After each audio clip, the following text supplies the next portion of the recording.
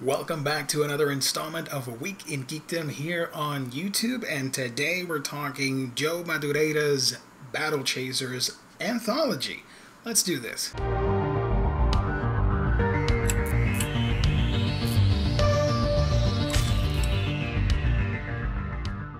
Welcome back to the channel, everybody, and finally I'm talking Battle Chasers, one of the coolest series from the late 90s in comic book history.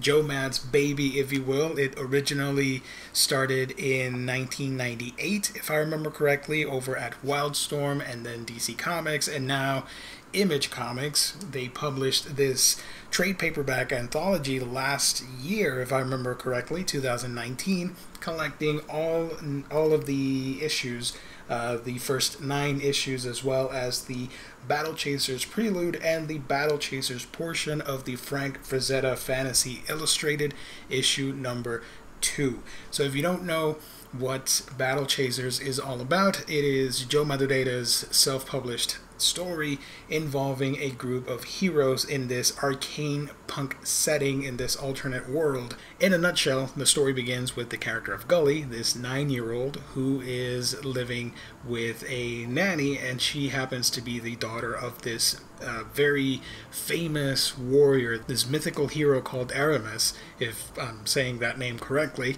And she is the target of these evildoers who turn out to be werewolves in disguise that are after a sacred magical item that's hidden in the house. Aramus has gone missing for many years and nobody knows what happened. People presume he's dead, and the character of Gully is just wishing that her father would come back to her.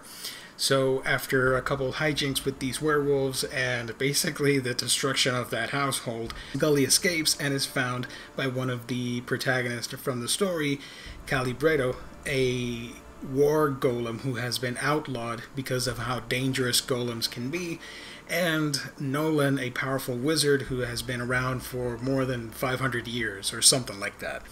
The story then continues onward, and we find out about new characters like Garrison, who is obviously clearly inspired by the uh, lone wolf, big sword wielder trope from anime and manga, or, you know, characters like Guts and Berserk. Garrison is this troubled ex hero who is living, uh, sort of wasting his life away after losing his wife and growing uh, more and more tired and disillusioned with the world. So he's a recluse and sort of a hermit. So he comes back into action after being called by the voluptuous bounty hunter slash pirate uh, called Red Monica. She enlists him to help in a prison breakout, but he refuses. And that's sort of where the story starts off. Joe is crafting this world uh, that at first when I started reading it way back in the day, I, I, read like the first two issues when those came out back in the late 90s, and I never read it again. So this was my first time reading all the available material because unfortunately the story's not done. And I found it pretty interesting, pretty cool. Obviously, the art is the main selling point here because it is an unfinished work. But when I started reading this, I immediately noticed that uh, the world building could use a little bit more work. There's a lot of concepts thrown around, but you don't really feel the connectivity between everything. It's just story break after story break, and you're just introducing things at a rapid pace and not taking your time to connect everything back. Also, the dialogue at the beginning can be super clunky and kind of cheesy, but in a good, cheesy kind of way that I didn't mind. Uh, some of the characters, the way they're expressing things, especially Gully, and the phrases that she uses and all that stuff, just seem a little bit, a, a little outdated, let's just say that much. But overall, this is a very fun and kick-ass looking book. I love Battle Chasers art. Uh, Joe Madureira, you know, Joe Mad, he is legendary. His usage of art by mixing uh, clear influences from anime and manga with, of course, traditional Western comic books is a fascinating thing to look at. And the book just explodes with uh, just fantastic visuals, great character designs, dynamic action, and just great facial expressions and uh, the symmetry between these characters doing their thing and the action and all that stuff. It's a perfect blend of the two mediums clashing in the mind of a single writer artist, which is fantastic. It also helps that the colors are so lush, vibrant, and beautiful to look at. Image did a fantastic job of assembling the uh, the book where everything just looks fantastic,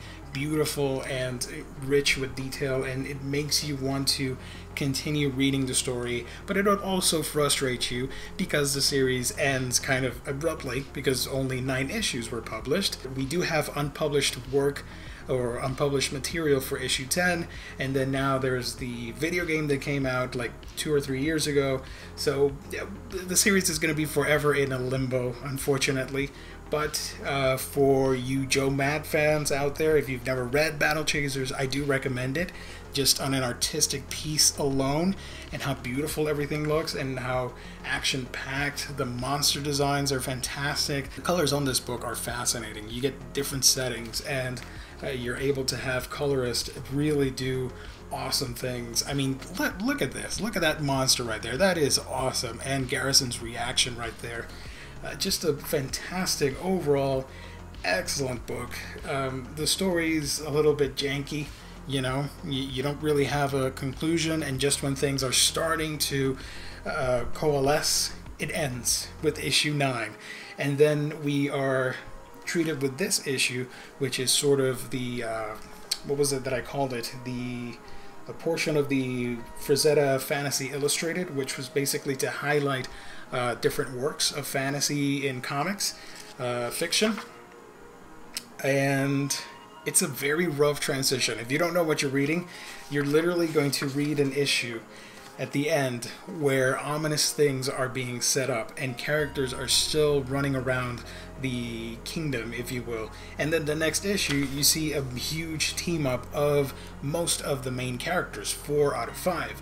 That doesn't happen in the actual storyline, so you're jumping ahead. And then after you read that, you're followed by a prelude, which sort of explores the history, a little bit of the history between uh, Red Monica and uh, Garrison. And when that ends, you're just left with a big question mark like, okay, what's going to happen next? It just so happens that the video game is sort of a new starting point for new fans, but it also counts as a sequel to the book and even in that game, the team has formed. We don't see that here. So that uh, those plot holes in Battle Chasers are the thing that annoys me the most. I, am fine with them continuing the story in video games. I don't mind that at all. But leaving me like this uh, just frustrated the heck out of me reading this. The art is fantastic. The characters are for the most part, kind of trope heavy, but still fun to read. You get some really cool Joe Mad art, and you definitely get to see the evolution uh, from 1998 to the last issue, which I think was 2001, 2002. Uh, for example, I'm going to show you a panel here at the beginning. Um, let's see. Uh, here's some facial features and characters. You see the art right there there we go.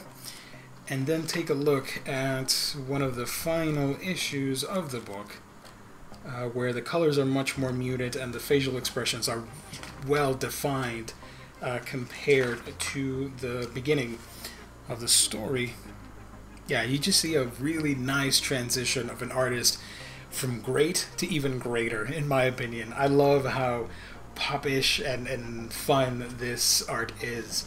The story itself, uh, like I said, you're just basically getting introduced to this uh, fantastic world of characters, and just when it's getting good, it ends, unfortunately. So, yeah, should you get this? If you want uh, a, a cool introduction to a new world of characters, and you don't mind the cliffhanger ending, then I don't know if it'll ever get resolved go ahead and get it, or maybe jump into the video game, and if you like that, you can sort of see this as the prequel uh, half story. What I would try and do in the future, if I were them, I would like to at least um, finish out what is being set up here because there are a lot of elements that are pretty interesting.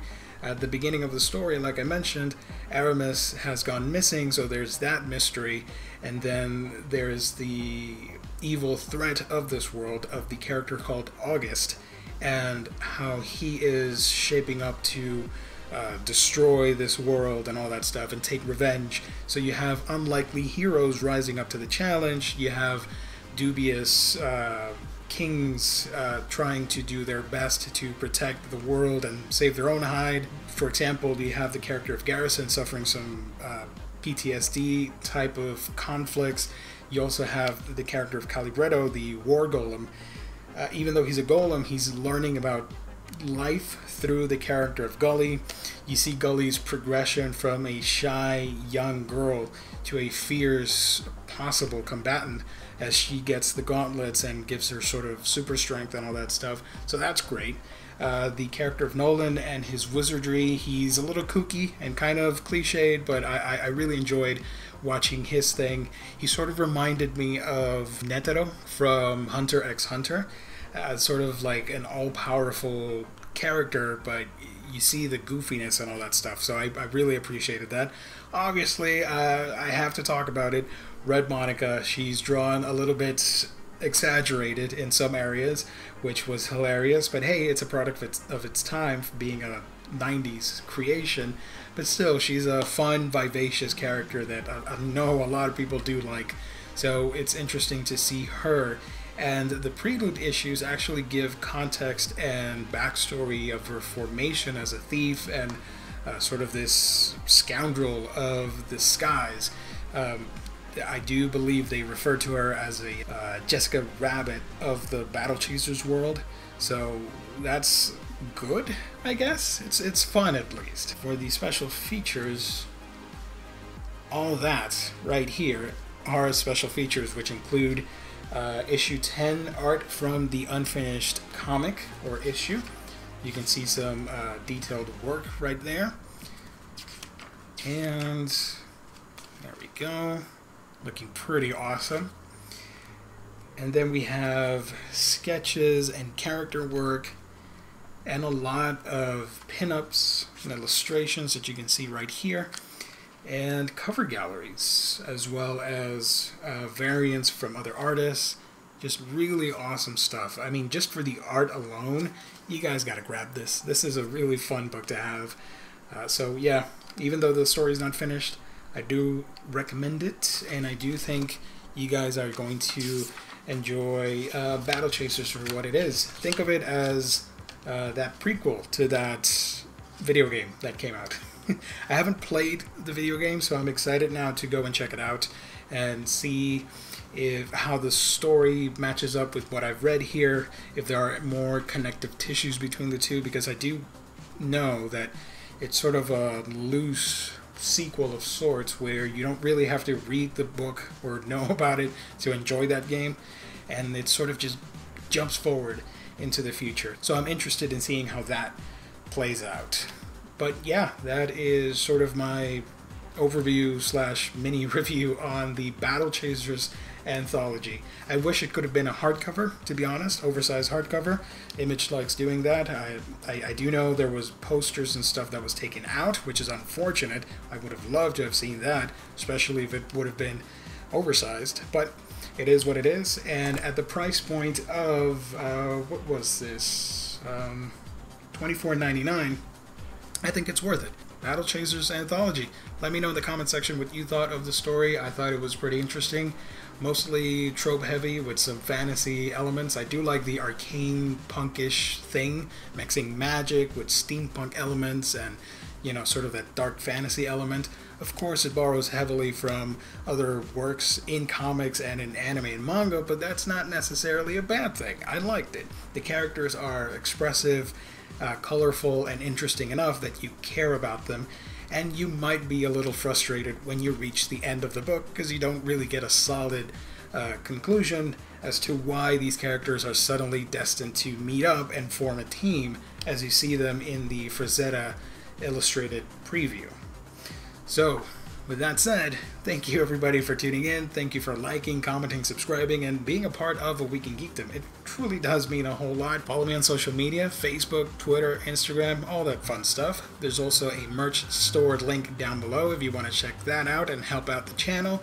And that's about it, guys. Thank you so much. I will catch all of you on our next episode.